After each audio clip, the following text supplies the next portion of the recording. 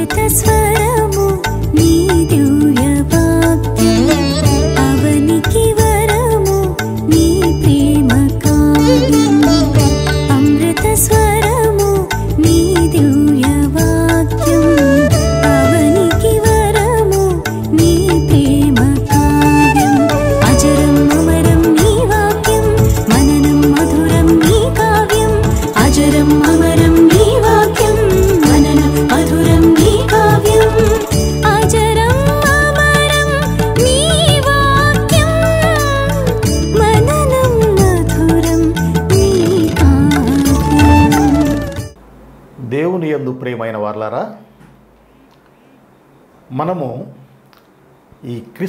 పండగ సందర్భంగా ఈ శుభదినాల్లో మరొకసారి మనం కలుసుకొని క్రీస్తు జననం గురించి మాట్లాడుకోవడానికి మనకు మరొక అవకాశం ఇచ్చినటువంటి మన ప్రభు అయిన యేసయ్య నామమున కృతజ్ఞతాస్తుతులు చెల్లించుకుంటూ ముందుగా నేను మీ అందరికీ క్రిస్మస్ శుభాకాంక్షలు తెలియజేస్తూ ఉన్నాను.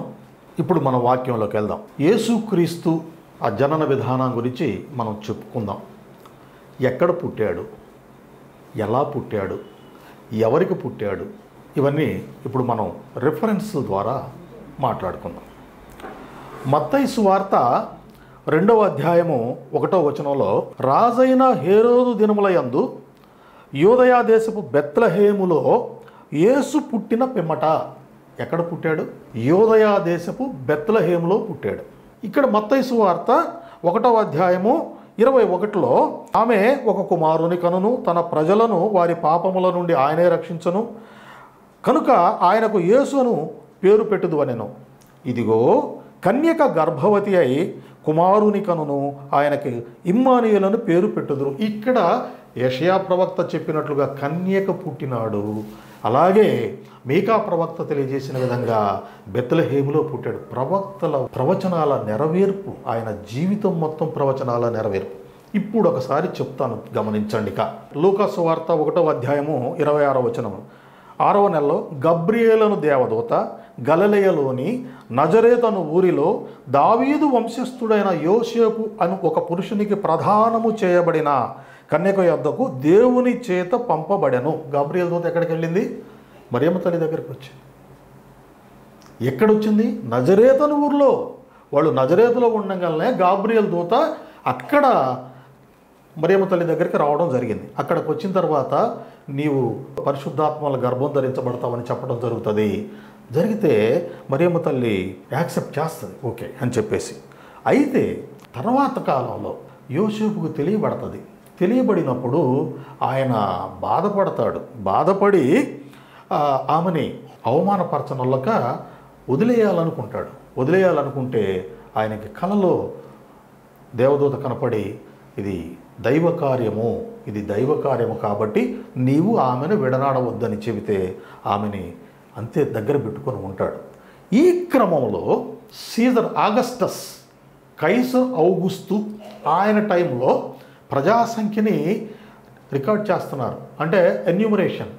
ఎన్యూమరేషన్ చేస్తున్నప్పుడు అక్కడ బెత్లహేము ఈయనది ఒరిజినల్గా ఇందాక మనం చెప్పుకున్నాము దావీదు వంశస్థుడు. దావీదు ఎక్కడతను? ఎక్కడతను? బెత్లహేమీయుడు. బెత్లహేమీయుడు. ఈ యోసేపు ఒరిజినల్గా బెత్లహేమీయుడు నజరేతుకు వెళ్ళాడు. అక్కడే ఉంటున్నాడు. అయితే ఎన్యూమరేషన్ వర్క్ చేసేటప్పుడు మాత్రము వాళ్ళు వాళ్ళ సొంత గ్రామానికి వెళ్ళవలసి ఉంటుంది. అక్కడే నమోదు చేయించుకోవాలి. అక్కడే నమోదు చేయించుకోవాలి.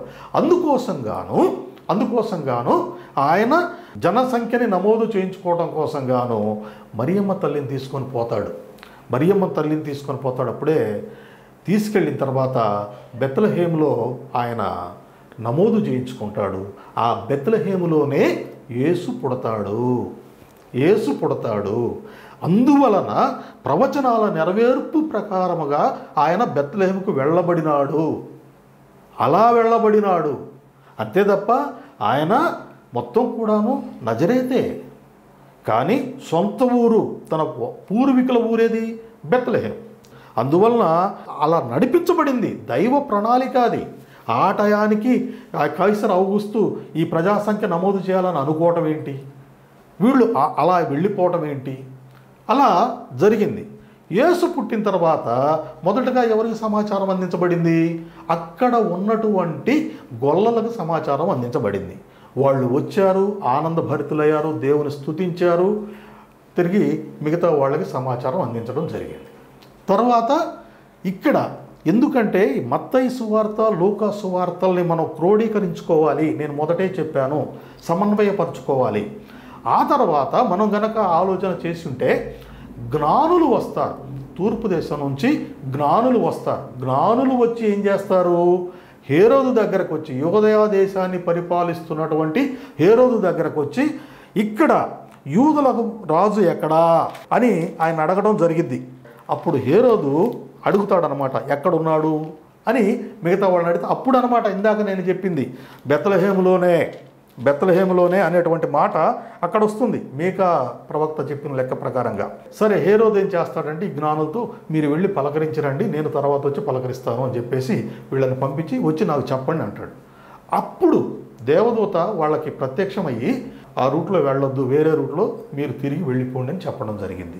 హేరోదు యొక్క కుట్రని యోసేపు కూడా తెలియజేయడం జరిగింది. ఈయన చంపబోతున్నాడు. మరియమ్మ తల్లికి పుట్టినటువంటి ఏసయ్యని చంపబోతున్నాడు కాబట్టి నీవు ఈజిప్టుకు వెళ్ళిపో అనగానే నజరేతు నుంచి వచ్చాడు. బెత్తలహేమలో నమోదు చేయించుకున్నాడు. ఎక్కడి నుంచి? ఈజిప్టుకు వెళ్ళడం జరిగింది. ఈజిప్టుకు వెళ్ళిన తర్వాత మరలా ఆ హేరోదు చనిపోయిన తర్వాత అప్పుడు మరలా చెప్తుంది దేవదూత నువ్వు తిరిగి వెళ్ళు. నువ్వు వెళ్ళవచ్చు ఇక. నువ్వు బ్యాక్ టు పెవిలియన్ నువ్వు మరలా వెళ్ళిపోవచ్చు. ఈజిప్ట్లో ఉండాల్సిన అవసరం లేదన్నప్పుడు ఆయన తిరిగి వెళ్ళిపోతాడు. నజరేతికే వెళ్ళిపోతాడు. గలలేకి వెళ్ళిపోతాడు. ఇక అక్కడ ఈ ప్రాసెస్ జరుగుతూ ఉంది.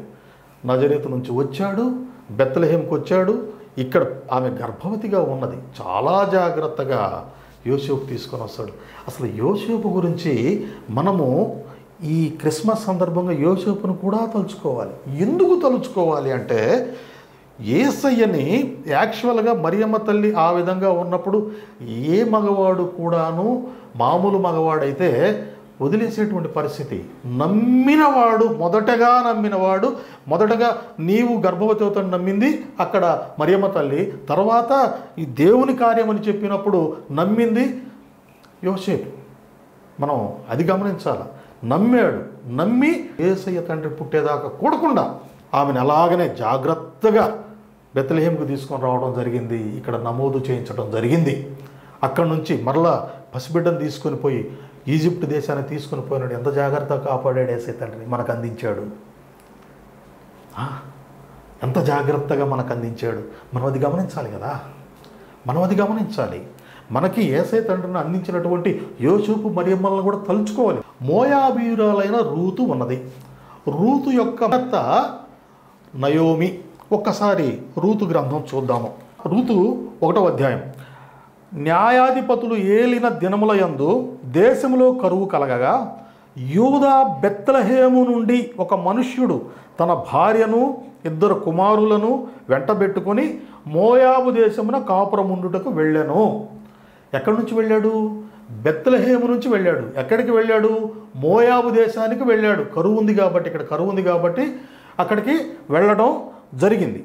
ఆయన పేరు ఎలిమెలకు ఆయన భార్య పేరు నయోమి. ఆ ఇద్దరు కొడుకుల పేర్లు మహులోను కిలియోను. ఈ మహులోను కిలియోను అనేవాళ్ళు ఈ మోయాబు రాణులనే పెళ్ళి చేసుకుంటారు. ఆ మహులోను భార్య పేరే రూతు. అయితే అక్కడ ఉండగానే ఈ నయోమి భర్త ఆమె ఇద్దరు కుమారులు చనిపోతారు. చనిపోయిన తర్వాత ఈ నయోమి ఈ నయోమి తిరిగి తన స్వదేశానికి వెళ్ళడానికి సిద్ధపడి కోడళ్ళిద్దరికీ చెప్పింది మీరు ఇక్కడే ఉండిపోండి నేను వెళ్ళిపోతానని చెప్పేసి. అయితే ఒక కోడలు ఉంటుంది కిల్యోను భార్య అక్కడే ఉండిపోద్ది కానీ మహ్లోను భార్య అయినటువంటి రూతు అత్తతో పాటు వస్తుంది నేను నీతో వస్తాను అని అంటది. నయోమి వద్దు అంటది. అయినా కూడా అత్తను విడవకుండా విధేయత గల కోడలుగా వచ్చేస్తుంది. తనతో వచ్చిన కాడ అక్కడ గనక మనం గమనించినట్లయితే రూతు గ్రంథాన్ని ఆ క్రమంలో ఆమె బోయజును పెళ్ళి చేసుకోవడం జరుగుతుంది. రూతుతో బోయజు ఉన్నటువంటి ఆ ఇంటిలోనే ఓబెదు పుడతాడు. ఓబెదుకు యషయి పుడతాడు. యషయికి దావేదు పుడతాడు. సీక్వెన్స్ చూడండి. బోయజుకి ఓబేదు పుడతాడు ఓబేదుకి యషయ్య పుడతాడు యషయ్యకి దావీదు పుడతాడు. ఆ ఇల్లు దావీదు రాజైన తర్వాత ఆ ఇంటిని వదిలేసి ఆయన పెద్ద కోటలో ఉండటం జరిగింది. దావీదు కొడుకులు కూడా కోటలో ఉండటం జరిగింది. అయితే అయితే ఈ పరిశోధకులు చెప్పేటువంటి అంశం ఏంటయ్యా అంటే ఈ కింహాముకి తనకు ఎంతో సేవలు చేసినటువంటి ఎంతో విశ్వాసపాత్రంగా ఉన్నటువంటి తన అభిమానాన్ని ఎంతో చూరగొన్నటువంటి బర్జిల్లై కుమారుడైన కింహాముకి అది ఇచ్చాడని. సత్రము అది తర్వాత సత్రంగా మార్చబడిందని కింహాము సత్రమైందని అదే గెరూతు కింహాము గెరూతు అంటే సత్రమని కింహాము కింహాము యొక్క సత్రము అనేటువంటిది అక్కడ ఉన్నది. ఇది మనకి ఎక్కడ వస్తుంది? ఒకసారి గమనించినట్లయితే సత్రములో స్థలము లేనందున పశువుల పాకలో లూకాసు వార్త రెండవ అధ్యాయము ఏడవ వచనానికి ఇప్పుడు రండి.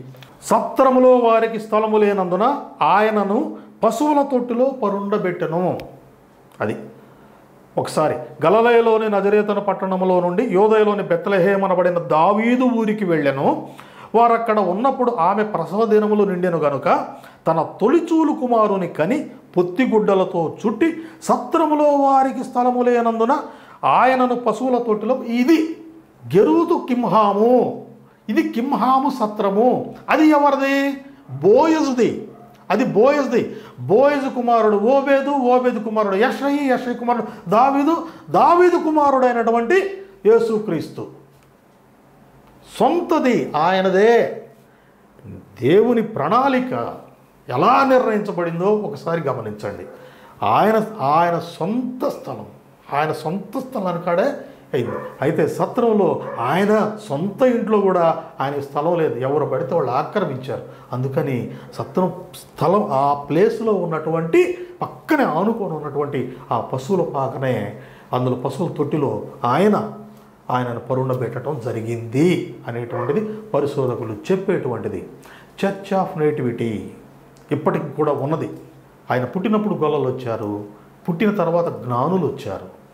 తర్వాత ఎనిమిదవ దినమున ఆయనకి యేసు అని పేరు పెట్టడం జరిగింది. యేసు అంటే రక్షకుడు రక్షకుడు.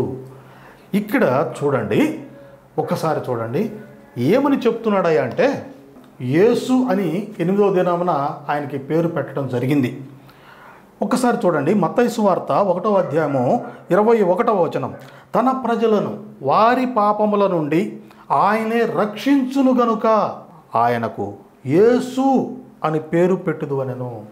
ఇంకో చోట మనము యోహాను సువార్త పన్నెండవ అధ్యాయము నలభై ఏడవ వచనం కనుక గమనించినట్లయితే నేను లోకమును రక్షించుటకే వచ్చి తిని కానీ తీర్పు తీర్చుటకు రాలేదు. చాలా స్పష్టంగా చెప్తాడు. లోకాన్ని రక్షించటానికి తన ప్రజల పాపముల నుండి రక్షించటానికి. రక్షించటం ఎందులో నుంచి రక్షించటం? ఎక్కడి నుంచి రక్షించటం? పాపాల నుంచి రక్షించటం. పాపాల నుంచి రక్షించటానికి. ఈయన ఈ లోకానికి రావడం జరిగింది. గమనించండి. తర్వాత మనము ఇదే జనన క్రమంలో మనము మరలా చూసి ఉన్నట్లయితే సుమియోను ఈయన ఎరుషులేం దేవాలయానికి వెళ్ళినప్పుడు సుమియోను అన్నా ప్రవక్తల గురించి కూడా ఇక్కడ మనం తెలియజేసుకోవాలి. గొల్లలు జ్ఞానులు సుమియోను అన్నా ప్రవక్త. ఈ ఈ నలుగురిని యేసుక్రీస్తు జననం సందర్భంగా స్మరించుకోవాలి. అలాగే అలాగే మనము మరియమ్మ తల్లిని యోషుని మనం జ్ఞప్తికి తెచ్చుకోవాలి. మనం ఒక్కసారి చూద్దాం. లూకాసు వార్త రెండవ అధ్యాయము ఇరవై రెండవ వచనం నుంచి చూద్దాం. మోషే ధర్మశాస్త్రము చొప్పున వారు తమను శుద్ధి చేసుకున్న దినములు గడిచినప్పుడు ప్రతి తొలుచూలు మగపిల్ల ప్రభువుకు ప్రతిష్ఠ చేయబడవలెను.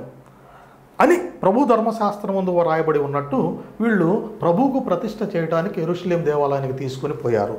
అక్కడ సుమయోనను ఒక మనుష్యుడు ఉండెను. అతడు నీతిమంతుడును భక్తిపరుడునై ఉండి ఇస్రాయేలు యొక్క ఆదరణ కొరకు కనిపెట్టువాడు.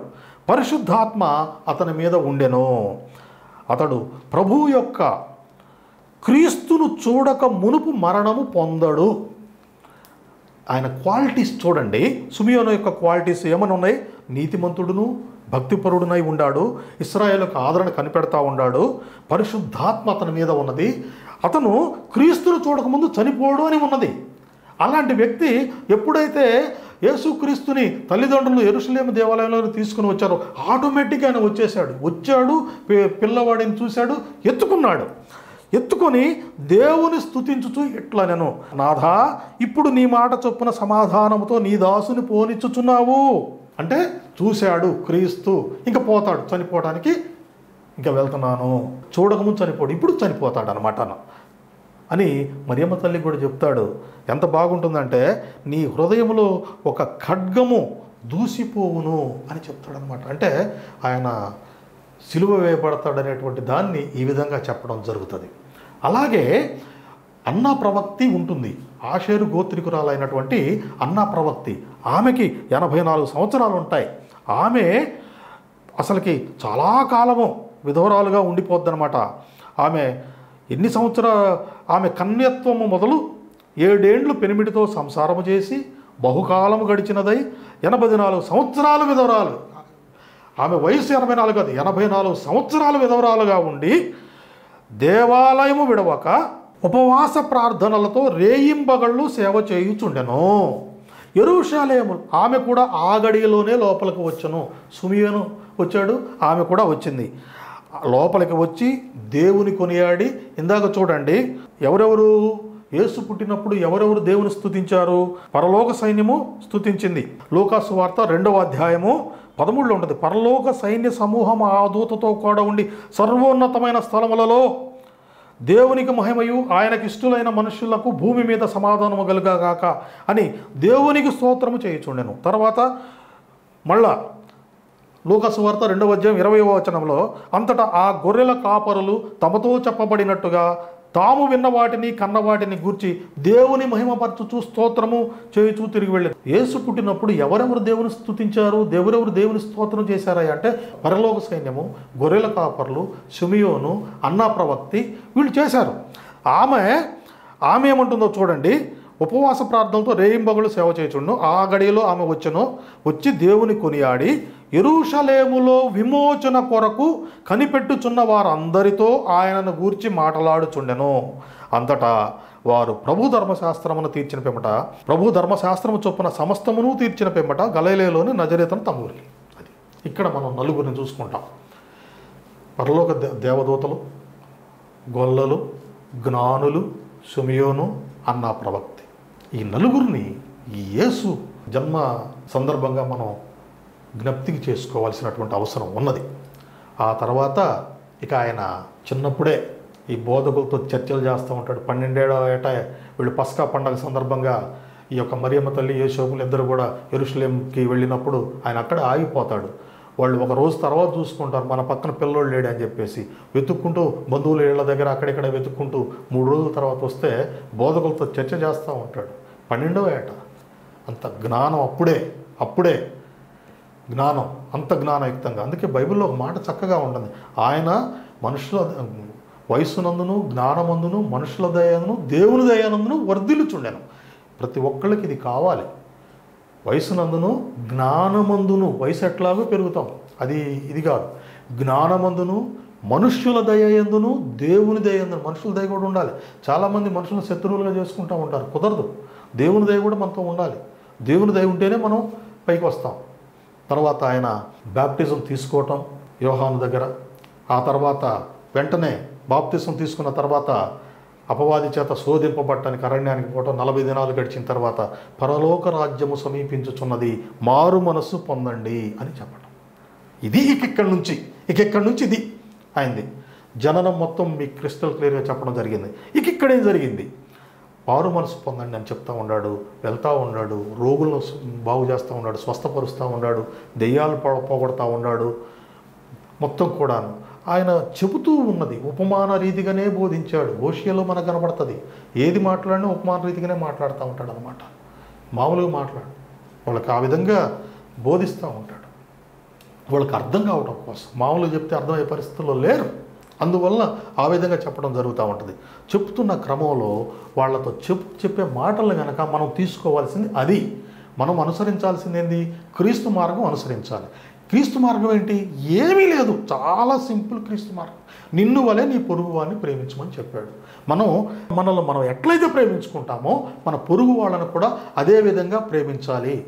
బేదలను ఆదరించమని చెప్పాడు. బేదలను కనికరించేవాడు యహోవాకు అప్పించువాడు అని ఉంటుంది మనకు బైబిల్లో. బీదలు బీదలను కనికరించండి బీదలను కనికరించండి. వితంతువులకు తోడుగా ఉండండి. తర్వాత వితంతువుల పట్ల మీరు కఠినంగా ఉండబాకండి. తల్లిదండ్రుల లేని వాళ్ళ మీద దయ చూపించండి.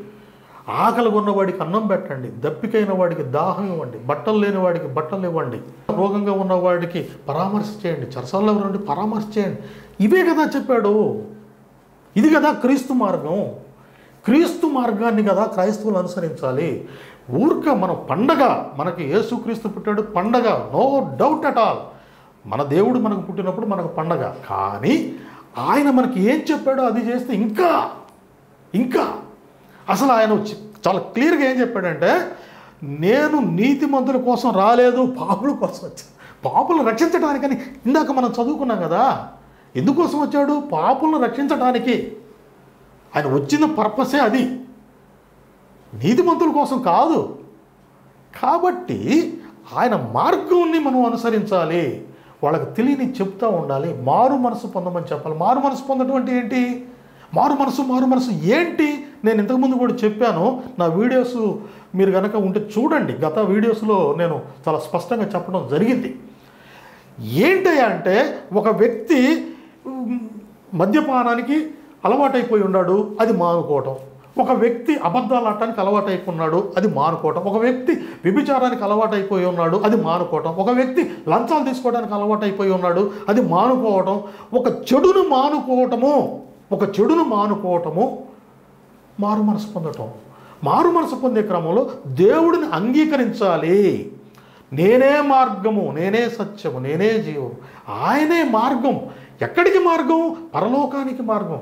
నా ద్వారా తప్ప నా తండ్రి దగ్గరికి ఎవరు పోలేదు తండ్రికి ఎవరు తండ్రి? దేవుడు. ఈయన ఈయన దేవుని కుమారుడు దైవ కుమారుడు కదా. ఈయన తండ్రి ఎవరు? దేవుడు. దేవుడు నేను కలిసే ఉన్నామని చెప్పినాడు. నా ద్వారా తప్ప మీరు అక్కడికి వెళ్ళలేరు పరలోకానికి చేరలేరు. సో మీరు ఖచ్చితంగా ఈ యొక్క యేసు మార్గంలో పయనించాలి. యేసు మార్గం క్రీస్తు మార్గం క్రిస్టియన్స్. అంటే ఏంటి? ఈ పనులు చేయటం. ఈ పనులు చేయటం. నీ సహోదరుని వ్యర్థుడు అనవద్దు ఒక చెంప మీద కొడితే రెండో చెంప చూయించు నీకు నువ్వు తగ్గించుకో. నీకు ఇంకా స్పష్టంగా చెప్పాలి అంటే చూడండి తను తాను తగ్గించుకోవాలి. లూకాసు వార్త ఆరోధ్యం ఇరవై తొమ్మిదిలో పై బట్ట ఎత్తుకొని పోవు వానికి నీ అంగీ కూడా ఎత్తుకొని పోకుండా అడ్డగింపకము. పై బట్ట ఎత్తుకొని పోతానంటే నీ అంగీ కూడా ఇచ్చేసాయి. అసలు నువ్వు అబ్జెక్షన్ చేయబాక మనకు నేర్పింది ఏంటి? దయగా ఉండండి. ప్రేమగా ఉండండి. ప్రేమ ప్రేమతత్వం క్షమ కృప చిట్ట చివరికి ఆయన శిలువ మీద వేయబడి కూడాను శిలువ మీద తనను అంతగా శిక్షించి శిలువ మీద సంతగా శిక్షించి తన ప్రాణాలు తీసుకుంటున్న వాళ్ళను కూడా తండ్రి వీరేమి చేయుచున్నారో వీరెరుగరు గనక వీరిని క్షమించు క్షమించు. ఇది ఇది ఇది క్రైస్తవత్వం. ఇది క్రైస్తవత్వం. ఇదే క్రైస్తవత్వం. ఇంకా ఎవరు ఎన్ని చెప్పినా పై పైన ఆచారాలు మాత్రమే. అసలు ఈ పై పై ఆచారాలను యేసుక్రీస్తు తిరస్కరించాడు కదా? తిరస్కరించాడు. ఒకసారి చూద్దాము. మత్తైసు వార్త ఇరవై మూడవ అధ్యాయము. అయ్యో వేషధారులైన శాస్త్రులారా పరిశీలారా? అయ్యో వేషధారులైన శాస్త్రులారా పరిశీలారా? అసలుకి ఎంత క్రిస్టల్ గరిగా చెప్తాడంటే మీరు దేనికి పనికిరారు? మీరు అంత పై పై మాటలే అన్నట్లుగా చెప్పేస్తాడనమాట ప్రతిదీ కూడా. నేను ధర్మశాస్త్రం కొట్టివేయటికి రాలేదు. ధర్మశాస్త్రం అమలు ధర్మశాస్త్రంలో ఉన్నది. ఏమని? భేదలను కనికరించమని ఉన్నది. ధర్మశాస్త్రం. ఆ మాట చెప్పాడు. ఆ- ఆ యొక్క ఇది తీసుకున్నాడు. అంతేగాని వీళ్ళు ఏం చేస్తున్నారు? ఈ బొలులు అవి ఇవి వీటి మీద దృష్టి పెట్టారు. దశంభాగాలు ఇవ్వండి లేకపోతే ఈ పరిహారాలు చెల్లించండి ఈ పరిహారాలు చెల్లించండి. వాటి మీద దృష్టి పెడితే వాటి మీద పెడితే పెట్టారు. వాటితో పాటు ఆత్మ దైవ దైవశాస్త్ర గ్రంథంలోని ధర్మశాస్త్ర గ్రంథంలోని ఆత్మని మీరు వదిలేస్తున్నారు. అసలుదేంటి? బీదలను కనికరించమని ఉంది. మీరు అది చేయించాలి. మీరేమో పైన కూర్చుంటానికే ప్రయత్నాలు చేస్తూ ఉంటారు. మీ యొక్క వేషధారణ భయంకరంగా ఉంటుంది. అది కదా? మత్తయి సువార్త ఇరవై మూడో అధ్యాయం ఒక్కసారి చదవండి. మొత్తం కూడా ఇట్ట ఇట్ట ఇట్ట పెట్టేస్తాడు అసలుకి. ఈ యొక్క శాస్త్రుల్ని పరిచయల్ని. యేసుక్రీస్తు మనకు నేర్పుతున్నటువంటి విధానాలు అవి. అది చెయ్యాలి? అది చేస్తే ఈ క్రిస్మస్ సందర్భంగా మనము ఏసయ్యే మన కోసం వచ్చింది. ఏ పని మీద వచ్చాడు? ఏ పని మీద వచ్చాడు? ఏ పని మీద వచ్చాడు? మన పాపలు రక్షించడం కోసం వచ్చాడు. ఎక్కడ పుట్టాడు? బెత్తలహేంలో పుట్టాడు. ఎక్కడ చనిపోయిన తర్వాత ఎక్కడ ఎత్తబడ్డాడు? బెత్తలహేం టు బేతనియా. లూకాసు వార్త ఇరవై నాలుగవ అధ్యాయము యాభై వచ్చిన ఒకసారి చూడండి. తరువాత ఆయన బేతనయ్య వరకు వారిని తీసుకొని పోయి చేతులెత్తి వారిని ఆశీర్వదించను. వారిని ఆశీర్వదించుచుండగా ఆయన వారిలో నుండి ప్రత్యేకింపబడి పరలోకమునకు ఆరోహణుడాయను. అక్కడ అక్కడ. Bethlehem to Bethany. అది పరలోకానికి వెళ్ళాడు అక్కడ వెళ్ళాడు అక్కడ వెళ్ళాడు. యహోవాగా ఉన్నప్పుడు చాలా రోషము గల దేవుడు అని ఉంటుంది. తన మనుషులని తన జనాంగమైనటువంటి యూదులు ఈజిప్టు నుంచి వచ్చేటప్పుడు ఎర్ర సముద్ర మార్గంలో వచ్చిన తర్వాత వాళ్ళు కనాన దేశానికి వెళ్ళేటప్పుడు అమాలేకీయులు వాళ్ళని అడ్డగించి అడ్డగించినారని చెప్పేసి అసలు ఈ అమాలేకులు అనేటువంటి వాళ్ళ పేరు ఈ భూమి మీద ఉండటానికి వీల్లేదనేటువంటి అంత పట్టుదలగా పట్టుదల గల దేవుడు యహోవాగా ఉన్నప్పుడు రోషము గల దేవుడు క్షమించటానికి కూడా మనసు రానటువంటి దేవుడిగా కూడా ఎక్కువ శాతం క్షమించిన దేవుడిగా తక్కువ శాతం. కానీ యేసుక్రీస్తుగా వచ్చిన తర్వాత క్షమ క్షమ క్షమ క్షమ క్షమించటం దయ ప్రేమ ఇదే చెప్పాడు. తగ్గించుకోండి తగ్గించుకోండి ఇదే చెప్పాడు. మరలా వస్తాడు మరలా వస్తానన్నాడు. మరలా వచ్చినప్పటికీ మనం సిద్ధపాటుతో ఉండాలి సిద్ధపాటుతో ఉండాలి చాలా జాగ్రత్తగా ఉండాలి. మనకి అనేక ఉపమానాల ద్వారా తెలియజేశారు. ఉపమానాల ద్వారా తెలియజేశారు. బుద్ధి లేని కనికలు సిద్ధపాటుతో లేకపోతే ఏమైంది? ఏమైంది? వాళ్ళు వెన్ బిందులోకి వెళ్ళలేకపోయారు. దేవుడు వచ్చేటప్పుడు మన వెనక సిద్ధపాటుతో లేకపోయినట్లయితే మనం పరలోక రాజ్యానికి చేరలేము దేవుడితో పాటు వెళ్ళలేము. వెళ్ళలేము. మనకు అనేక ఉపమానాల ద్వారా అనేక కథల ద్వారా మనకి చెప్పడం జరిగింది. సువార్త చెప్పేవాడు చెప్తున్నప్పుడే మారాలి. మారకపోతే ఏమైంది? మారకపోతే ఏమైంది? ధనవంతుడను దరిద్రుడైన లాజరు ధనవంతుడేమో నరకానికి పోయినాడు. ఈ దరిద్రుడైన లాజర్ అబ్రహాము రూపున అనుకున్నప్పుడు తండ్రి అయిన అబ్రహామ ఆ లాజర్ను పంపించు. నో. పంపించయ్యా. నో. కుదరదు. అయ్యా ఇంత కష్టంగా ఉంది. ఇంత కష్టంగా ఉంది. ఇబ్బంది పడుతున్నా నువ్వు ఇహలోకంలో ఉన్నప్పుడు బాగానే ఎంజాయ్ చేసావు లాజర్ కష్టపడ్డాడు. ఇప్పుడు నువ్వు కష్టపడుతున్నావు. లాజర్ నా రూమున అనుకొని ఉన్నాడు. అలాగైతే నా సహోదరులు ఉన్నారు. వాళ్ళని మార్చడం కోసం లాజర్ను పంపించాయా అది కుదరదు. అక్కడ మార్చడానికి మోసే వాళ్ళు చెప్పేవాళ్ళు ఉన్నారు. వాళ్ళు చెప్తే ఎన్నరు నా సహోదరులు అంటాడు వినకపోతే అది వాళ్ళ కర్మ. వాళ్ళు చెప్తేనే వినకపోతే ఇక్కడ నుంచి వెళ్ళినోడు చెప్పినా కూడా వినడు అంటాడు అబ్రహాం చాలా మంచి కదా అంటే ఇవన్నీ కూడా మనం దేనికి అన్వయించుకోవాలి? దేనికి అన్వయించుకో? సువార్త చెబుతున్నటువంటి అప్పుడు సువార్థికులు వచ్చి మీకు బోధిస్తున్నప్పుడు మీరు మారాలి. పాపము చేసేటువంటి మారాలి. అది నేనైనా ఎవరైనా పాపం ఎవరైతే చేస్తున్నారో వాళ్ళు మారాలి. దేవుడే వచ్చి దాకా ఎవరో వచ్చి చెప్పేదాకా కాదు. ఇక్కడ ఎక్కడైతే ఒక మంచి వాక్యం సువార్త మంచి వార్త మంచి వాక్యం వాక్యము దేవుడే ఉండేను. మంచి చెబుతున్నప్పుడు మారాలి. మారు మనసు పొందాలి. మారు మనసు పొందేవాళ్ళే పరలోక రాజ్యానికి చేరుకుంటారు. ఈ క్రిస్మస్ పండుగ సందర్భంగా మనము ఈ దైవ వాక్యాన్ని ధ్యానించుకోవడానికి దేవుడు మనకు అవకాశం ఇచ్చినందుకు దేవుడికి కృతజ్ఞత స్థుతులు చెల్లిస్తూ చిన్న ప్రార్థన చేస్తాం. మహోన్నతుడా మహాశివుడా నీవు పుట్టిన సందర్భంగా ఈ క్రిస్మస్ సందర్భంగా మేము మరొకమారు నీ యొక్క జనన విధానాన్ని ధ్యానించుకోవడానికి మాకు అవకాశాన్ని కల్పించినందుకు నీకు వేవేల కృతజ్ఞతాస్తుతులు తండ్రి. ఈ యొక్క వాక్యాన్ని అందరి మనసులో నాటండి అందరిని ఆశీర్వదించండి. ఈ వాక్యాన్ని విన్నటువంటి ప్రతి ఒక్కరిని పేరు పేరున వారిని ఆశీర్వదించండి. నా తండ్రి నీ యొక్క వాక్యాన్ని అందరికీ చేరవేస్తున్నటువంటి కీర్తన ఛానల్ వారిని ఆశీర్వదించండి. నీ వాక్యాన్ని వింటున్న ఈ యొక్క ప్రచురం చేస్తున్న ఒకళ్ళకొకళ్ళకి చెప్పుకొని పంపిస్తున్నటువంటి వాళ్ళని అందరినీ అందరినీ అందరినీ పేరు పేరున ఆశీర్వదించండి తండ్రి. ఈ క్రిస్మస్ సందర్భంగా అందరికీ నీ శుభావి దీవెనలు అందజేయమని మా ప్రభువును నీ ప్రియ కుమారుడనైన యేసుక్రీస్తునామను వేడుకుంటున్నాం మా తండ్రి. ఆమెన్.